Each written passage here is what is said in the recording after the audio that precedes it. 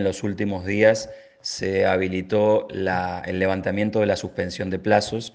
eh, lo cual implica que ya no solamente las urgencias, sino todo tipo de presentaciones, en cualquier tipo de expediente, van a tener que ser despachados en, los plazos legales. Y esto lo que va a producir en términos inmediatos es un colapso en muy poco tiempo del sistema, teniendo en cuenta que ya fuera de la emergencia previo a, la pandemia, el Poder Judicial venía con una situación de colapso estructural y en este contexto en el cual hay una, dotación mínima de personas trabajando en forma presencial y en todavía la modalidad de teletrabajo en un proceso de prueba, eh, no, va a tener ninguna capacidad el Poder Judicial de, afrontar esa demanda y eso va a repercutir necesariamente en una presión eh, cada vez más intensa de los jueces y las juezas, de los magistrados en general, para que más trabajadores y trabajadoras realicen trabajo presencial para poder dar cuenta de esa demanda.